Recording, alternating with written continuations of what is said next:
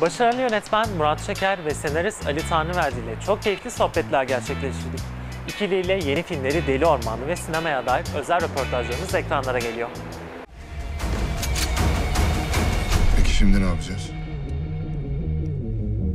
Biz şimdi ne yapacağız biliyor musun?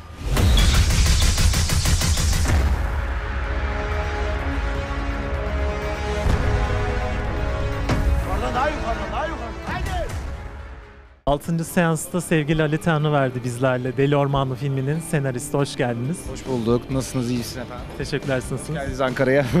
Siz de hoş geldiniz Ankara'mıza. Teşekkür ederim.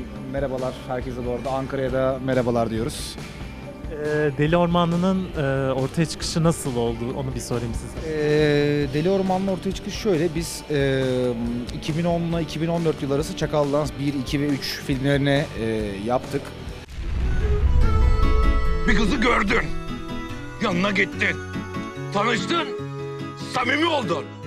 Vay arkadaş hikaye gel be. Mihriban çocukken bir kaza geçirdi.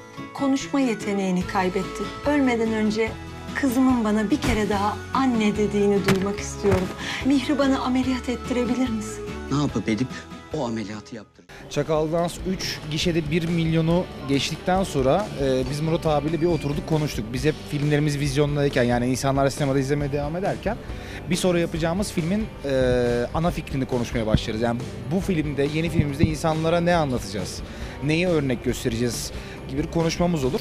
E, türü ve hikayesi ne olursa olsun öncelikle şununla karar kıldık onurlu ve gururlu bir adam anlatmak istiyoruz diye bir karara vardık kendi aramızda.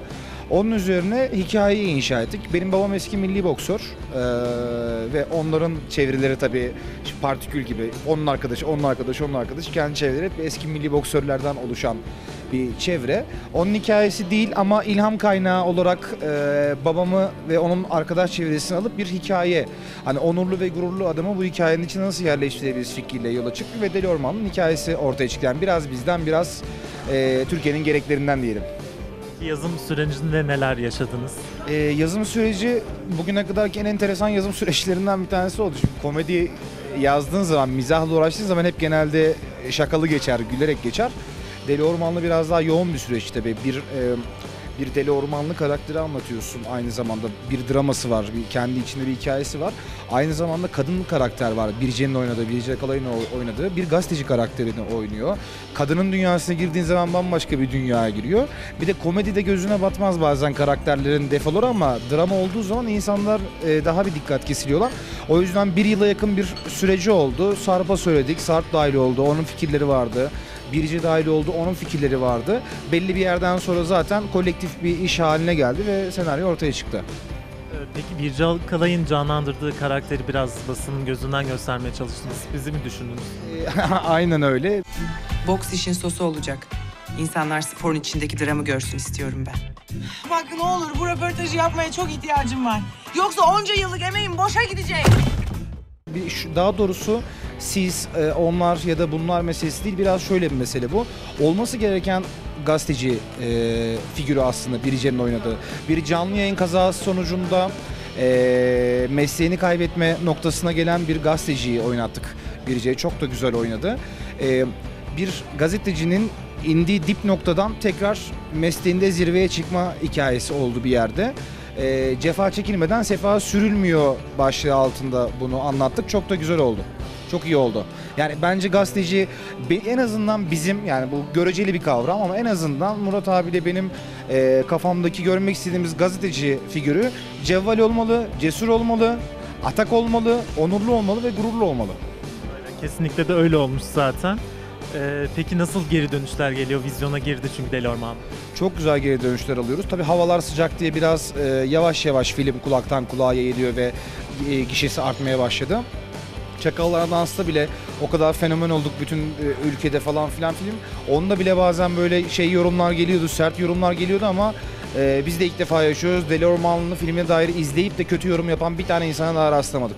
Bunu da abartmıyorum. Gerçekten araştırın bakın çok enteresan bir örnek.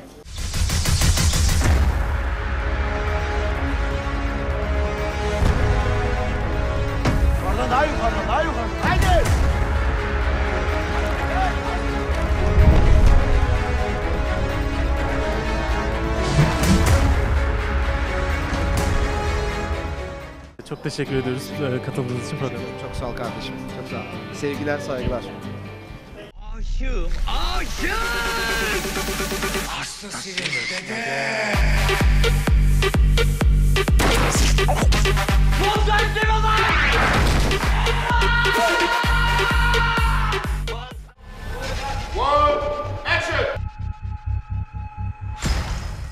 Altıncı seansta yönetmen Murat Şeker bizlerle. Hoş geldiniz tekrardan. Hoş bulduk. E, konuştuğumuzda vizyona girmemişti Deli Ormanlı. Şimdi vizyonda nasıl geri dönüşler geliyor önce sorayım. Valla geri dönüşler 10 numara. Zaten Twitter'da veya sosyal medyada bize gelen şeylerden 10 numarayı hakikaten laf olarak ve tabir olarak çok kullanıldığı için ben de kullanıyorum. 10 numara nefis film diyor. Gişemiz 2 gün, 3 günkür gişemiz o kadar çok wow dedirtecek bir şey değil ama senle zaten gala günde konuşmuştuk. Biz bu filmi zaten bunları görmek için yaptık. Yani iddiamız filmin güzelliğiyle ilgiliydi. Gişede ne olursa o Türk sinemasının ve seyircisinin tepkisini ölçme şansımız olacaktı. Devam ediyor. Her geçen gün seyirci sayımız artıyor. Bakalım. Film e, uzun bir maraton. Yani sadece e, vizyonda kaldığınız süredeki işe performansı tabii ki önemli ekonomik boyutlarıyla ama önemli olan zamana dayanıklı film olması. Bizim bütün daha önceki yaptığımız filmlerde de en önemli kriterimiz buydu. Önemli olan 2 yıl sonra, 5 yıl sonra, 10 yıl sonra nerede olacak? Ee, biz Çakallarla Dans ilk yaptığımızda da ilk film 250 bin yapmıştı. İkincisi 1 milyon yaptı. Üçüncüsü 1.7 milyon yaptı. yani bazı filmler zamanla sonradan açılıyor Arap atı gibi. Deli Ormanlı'da da o potansiyeli görüyorum ben. Zaten geçişi çok güzel bir geçiş oldu. O çakalarla dansta güldük, eğlendik e, ya da ne bileyim böyle bir daha farklı bir komedi izledik. Burada daha böyle sert aksiyon bir filmdi yani. Nasıldı o peki? Tabii tabii yani e, biraz biz e, madalyonun öbür yüz tarafını çevirmek istemiştik Deli Ormanlı'da. Yani 10 yıldır benim yaptığım filmler hep komedi ortak paydası. Yani romantik komedi, gençlik komedisi, çılgın komedi. Bu sefer drama geçtik. Ha bu şey demek değil sonra gene komedi filmi yapmayacağız anlamına gelmiyor ama e, işte 5 yılda bir, 10 yılda bir en azından bizim gibi profesyonellerin böyle riskler alması lazım. Bu toplumsal hayat için bir renktir, Türk sineması için bir renktir. E, gene yaparız yani e, birkaç film sonra gene Deli Ormanlı gibi veya belki Deli Ormanlı'nın devamı, belki başka dram aksiyon tadında filmler gene yaparız. Zevkli bir şey çünkü ben seviyorum aksiyonu. E, farklı bir soru sorayım. Sinema sizin için ne anlam ifade ediyor? Hayatınızda nasıl bir yerde? Sinema benim yaşam biçimim. Yani sinema birçok insan için bir eğlence aracı, kimisi için en sevdiği sanat dalı ama benim yaşam biçimim dolayısıyla hani zor bir soru nasıl tarif edeceğim bilemem ama hani yani sabahım, akşamım, gecem, gündüzüm sinema işte Ankara'ya geldik bugün gala için. Uçakta gelirken bile Çakallarla Dans 4 ile ilgili Ali Tanrıverdi ile beraber notlar aldık, konuş, konuşuyoruz. Aklımızda olan bir takım şeyler vardı. Onları, notları zenginleştirmeye başladık. Yani filmi vizyona soktuğumuz gün bizim filmle ilgili bir önceki filmle gündemimiz bitiyor. Bir sonraki filmle ilgili gündem başlıyor. Ee, yakın çevrem bazen şikayetçi oluyor böyle normal herhangi bir konuyla ilgili sohbet ederken bile ya bak bir şey anlatacağım sana şöyle bir şey var deyip falan veya daha önceki bir filmle ilgili bir anekdot oluyor. Ee, dolayısıyla sinema benim yaşam biçimim.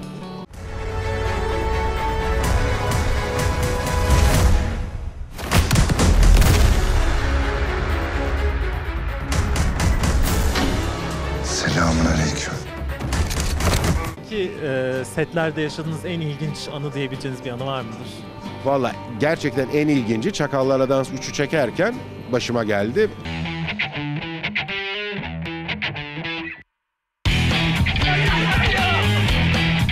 Bana telefon numarası soruyor. Bedava istiyor bu. Ee, hep mahallenin gençleri Fikirtepeliydi ya bizde. Üçüncü filmde gittik gerçekten Fikirtepe'de çektik. Fikirtepe'de bu kentsel dönüşüm falan, yıkık binalar var, eskiler var falan. Biraz da değişik bir yerdir Fikirtepe. Belalı tipleri de vardır. Gecenin biri falan çekim yapıyoruz. Şevket Çoruh ve Timur Acar'la. Ben tabii gece vakti yönetmen olarak bağırıyorum, çağırıyorum. Şevket gel, olmadı Timur bağır öyle şey olur mu falan. Tam böyle bir sahne çektik. Bir anda böyle dibimde bir su- surat gördüm.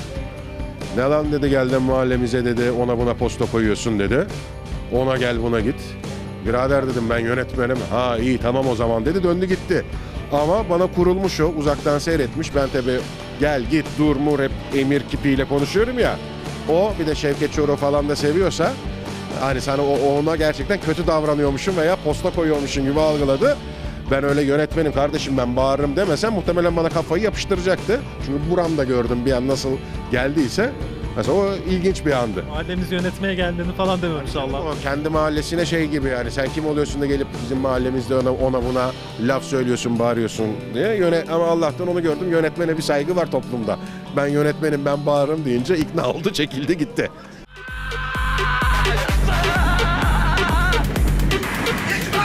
Gel zırtaboz var burada. Burada zırtaboz var.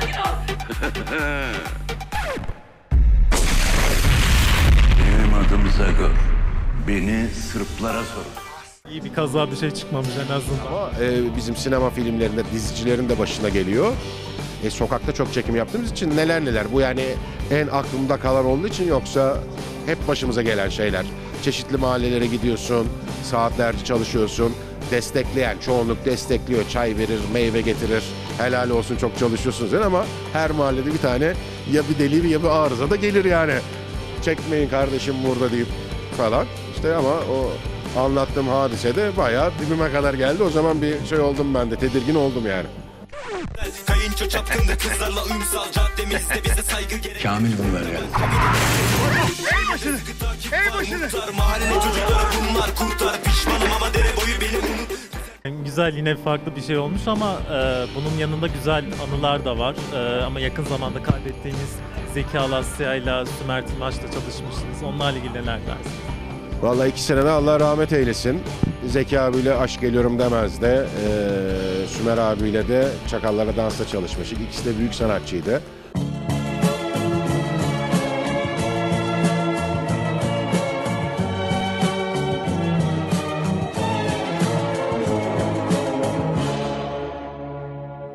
Zeki abiye en azından onun yüzüne karşı diyebilmiştim. Abi sen benim çocukluğumun kahramanlarından birisin. Özellikle Beyoğlu, Beyoğlu ve Yasaklar. Benim çocukluğumda minibüslerde, dolmuşlarda bile dinleniyordu. Yani sadece izleyerek değil. Ee, onun yüzüne söyledim. Sümer abiyle de iyi vakit geçirmiştik. Ee, ilginç olan bir de Zeki Alasya'nın son oynadığı sinema filmi bizim Aşk Geliyorum Demez olarak tarihe geçti. Ee, buruk bir sevinç o benim adıma. İkisine de Allah rahmet eylesin. Diyoruz.